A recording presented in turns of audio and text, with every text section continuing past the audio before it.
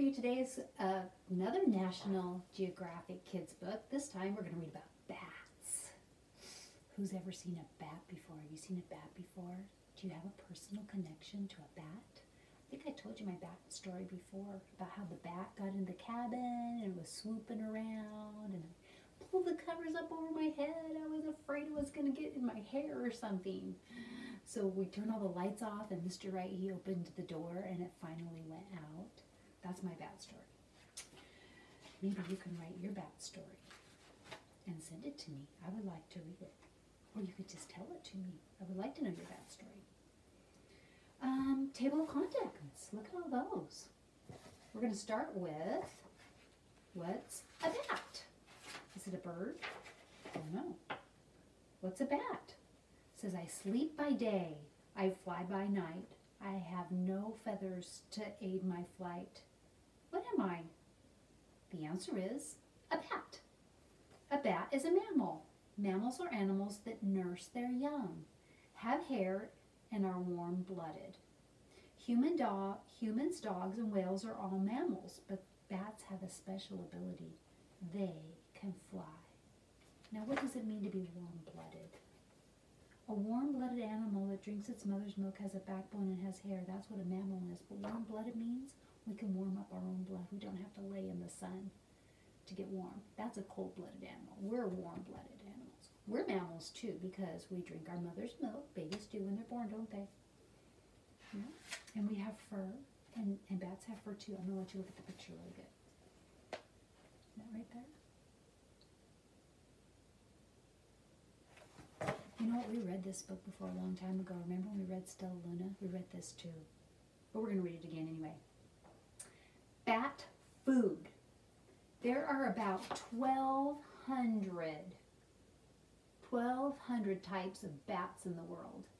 Most of them eat insects.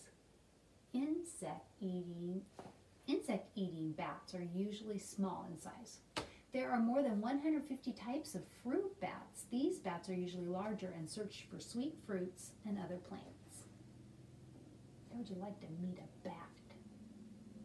Creepy. A few bats hunt for larger prey, such as frogs, birds, or mice. look at that one. And there's a picture right there too. I could get you. Ugly, isn't it? Look at its nose.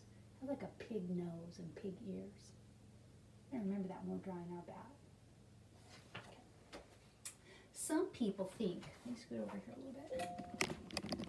Okay, there we go. Maybe that's better. Some people think all bats suck your blood. This is not true. Only three kinds of bats drink blood. Ooh, there are bats that drink blood? This group is known as vampire bats. Oh, they mostly feed on the blood of animals like cows and deer, not humans. Ooh. I didn't even know that. Well, I guess I knew that, but I forgot it.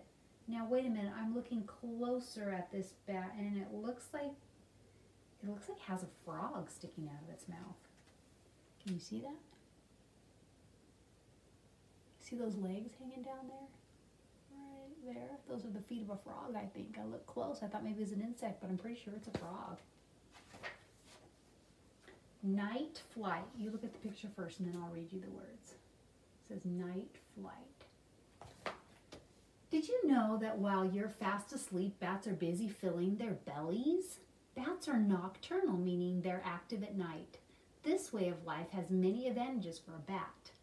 Insect-eating bats often feast on bugs that come out after dark. Pollen and nectar-eating bats might feed on plants that only open at night. Nectar is a sweet liquid made by flowers. Says bat words down here, nocturnal, the state of being active at night. Are you nocturnal? Not me. Nectar, a sweet liquid made by flowers. Mmm. Bat bodies. I'm going to zoom in and look at that. They labeled all the different parts of the bat there for us. Looks like we they have a coat of fur and four fingers. Four fingers. We better remember that when we draw it. And it has a thumb. Oh, four fingers and a thumb, that's like us. I'm trying to read these words backwards. Has a sensitive nose, mm, sharp eyesight, a wing, and big ears. I bet there's a reason why it has big ears. I bet we're going to find out. Bat bodies. Scientists call bats Chiroptera, a Greek name that means hand wing. That's because bats have four fingers and a thumb just like us. A thin layer of skin connects the fingers. This forms a wing. Bats also have a sensitive nose and big ears. Their big ears help some bats see with sound. See with sound? Can you see with sound? I bet we're going to find out what that means. It says echolocation, a system in some animals for locating objects using sound waves. Okay, so you see that bat there? And you see those circles? Those circles are supposed to be sound waves. We can't see sound waves, but we can hear them. They drew that so you could kind of see what they would look like if you could see them. In a pitch black night, bats can scoop up a tiny in insect with ease.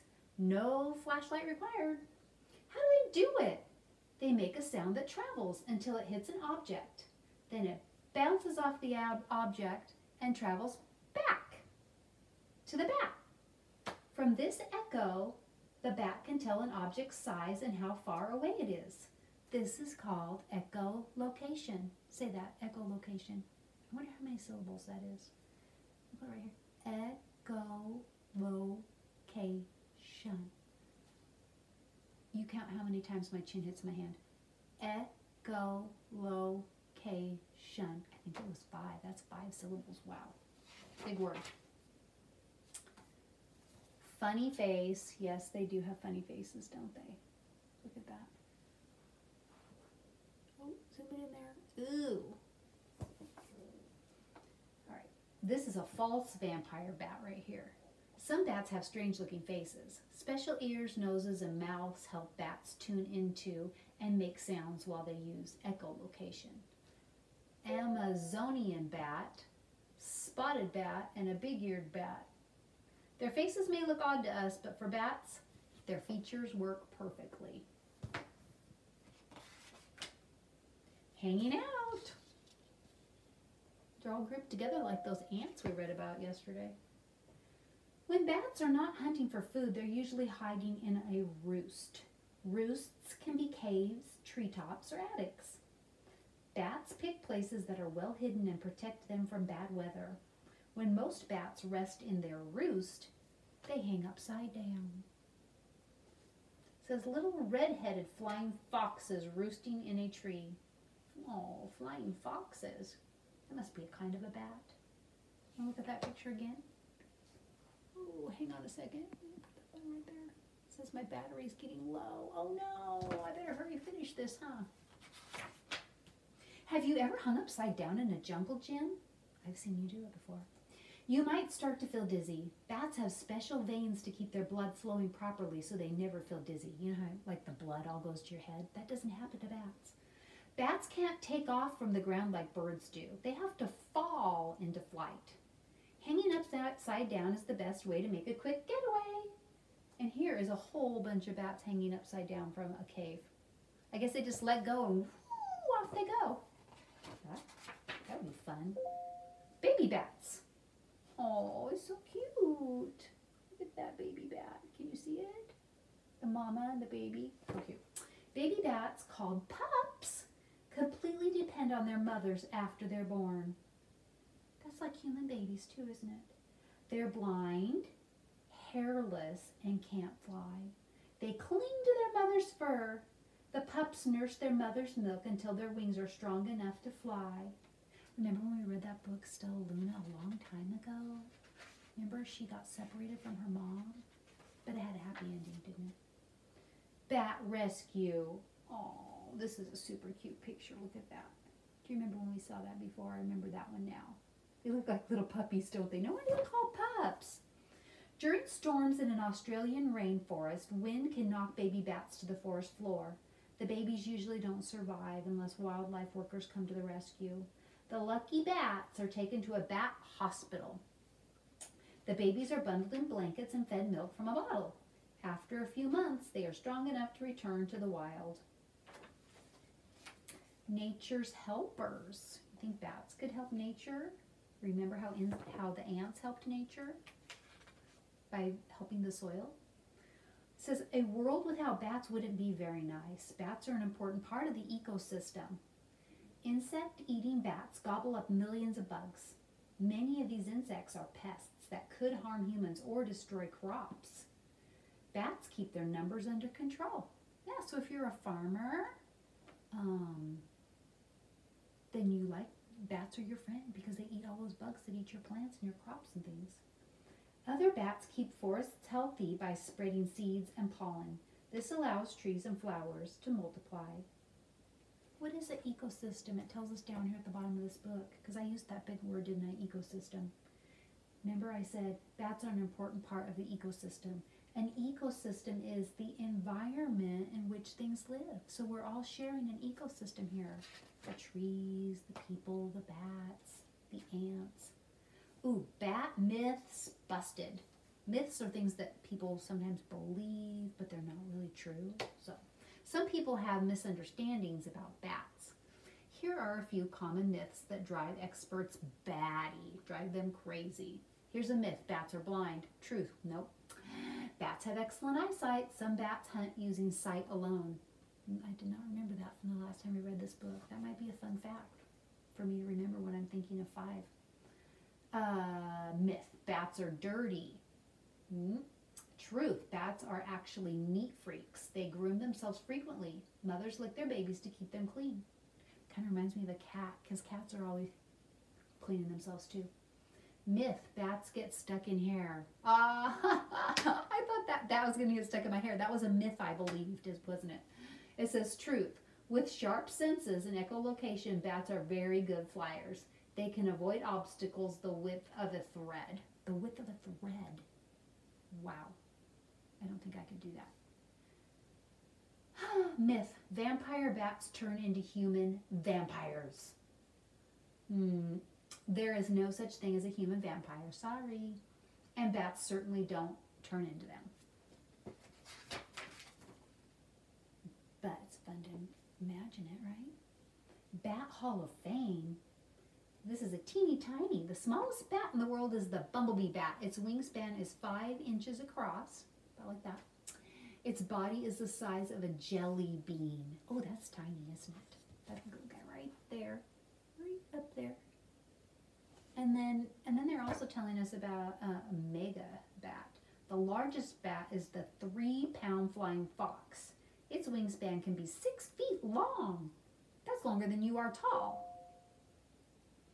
Oh, here's another one of those question answer things. Why did the bat use insect repellent? Because it was on a diet. Insect repellent. Insect repellent makes the insects go away. It repels them. So, oh, I get it. He was on a diet. He didn't want to eat those insects. He was getting too fat, I guess. Okay. Happy Camper. The Honduran white bat makes tents out of leaves to protect itself from constant rain showers. Well, that's smart. And then a most crowded home. 20 million Mexican free-tailed bats live in one Texas cave. 20 million? These bats are also the fanciest flyers. They can soar as high as 10,000 feet and zoom through the air at speeds over 40 miles per hour. They have a picture here, but I can't even really tell what it is. Hmm. Biggest appetite. Little brown bats can eat up to 1,200 mosquitoes in one night. Yum, it says. Wow, I'm really glad because I don't like mosquitoes. I'm glad the bats, 1,200, that's a lot. Hmm. All right, now we know more about bats, or we remember more about bats. Can you remember two or three things and tell somebody what you learned about bats? Good. See you later.